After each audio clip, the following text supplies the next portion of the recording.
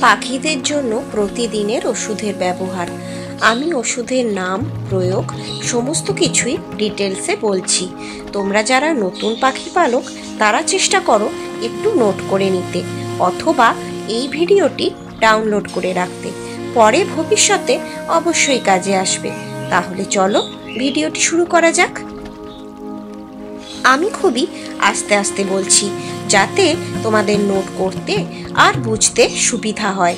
যাদের মনে হবে ভিডিওটি আসতে চলছে, তারা দয়া করে ওয়ান পয়েন্ট টু ফাইভ স্পিডে ভিডিওটি চালিয়ে নিতে পারো।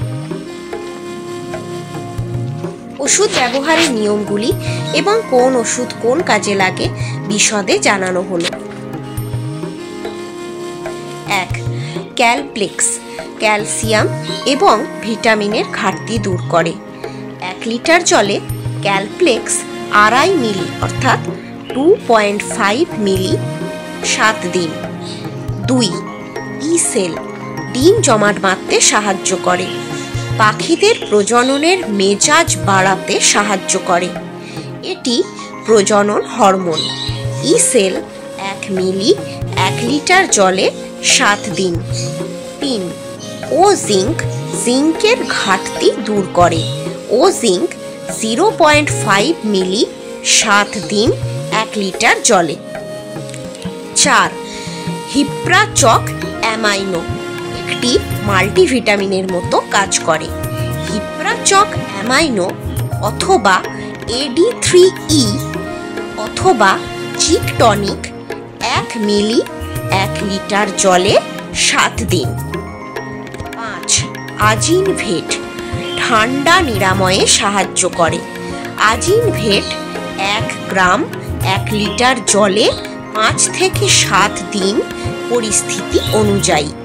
ছয়, টেট্রাক্স ফাইভ হান্ড্রেড সবুজ টয়লেট নিরাময় করতে সাহায্য করে। পাঁচশো গ্রাম জলে টেট্রাক্স ফাইভ হান্ড্রেড একটি ট্যাবলেট। সাত, টাইলোভেট ঠান্ডা নিরাময়ে সাহায্য করে। আট, অ্যাভিনেক্স ভেট। একটি অ্যান্টিসেপটিক।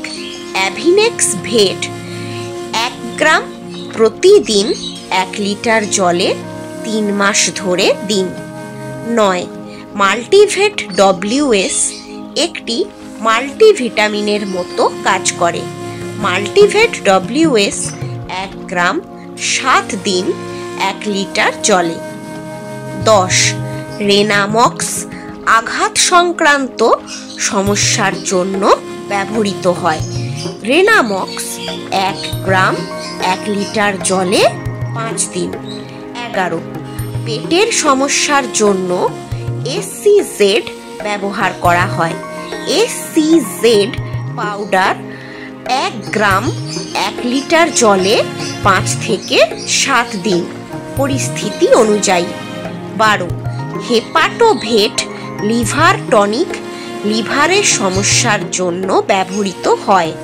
হেপাটোভেট এক গ্রাম এক লিটার জলে পাঁচ থেকে সাত দিন পরিস্থিতি অনুসারে। তেরো এসিভি পাখির জন্য দারুণ ওষুধ। রোগ প্রতিরোধ ক্ষমতা বাড়ায়। এসিভি পাঁচ গ্রাম এক লিটার জলে পাঁচ থেকে সাত দিন। এবার জেনে নাও ওষুধগুলির মাসিক কোর্স। এক, ক্যালপ্লেক্স আড়াই মিলি মানে টু পয়েন্ট ফাইভ মিলি। দুই, হিপ্রাচক অথবা এডি থ্রি ই অথবা চিক টনিক এক মিলি। তিন, ও জিঙ্ক এক মিলি। পাখি প্রজননের আগে এই কোর্সটি সম্পন্ন করলেই হবে। এছাড়া এর সাথে কেবল ই সেল এক মিলি দেওয়া যেতে পারে। তাছাড়া যদি পাখির বিশ্রামের সময় কোর্সটি পরিচালিত হয়, তবে ই সেল বাদ দেওয়া উচিত। সব ওষুধ এক লিটার জলে একসঙ্গে মিশিয়ে পাখিকে দিতে হবে। কোর্সটি একটানা সাত দিন চালানো উচিত। রাতে পাখির জল বের করে রাখতে হবে এবং পরের দিন সকাল আটটা নটার দিকে জল দিতে হবে।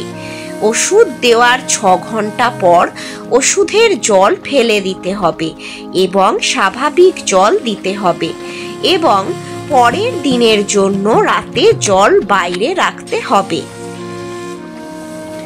এছাড়াও প্রতি সপ্তাহে পাখিকে খাবার দিতে হবে। বীজের মিশ্রণ ছাড়াও দুদিন মরশুমি সবজি, দুদিন নিম পাতা ও সজনে পাতা, একদিন ডিম আর নরম খাবার দুদিন। পাখিদের যথেষ্ট গোপনীয়তা দিতে হবে। প্রয়োজন ছাড়া বিরক্ত করা যাবে না। পাখিকে প্রজননের পর কমপক্ষে দুই থেকে তিন মাস বিশ্রাম দিতে হবে। সব পাখির জন্য শুভকামনা রইল। যত্ন নাও, ভালোবাসা দাও। ধন্যবাদ সবাইকে শেষ পর্যন্ত ভিডিওটি দেখার জন্য।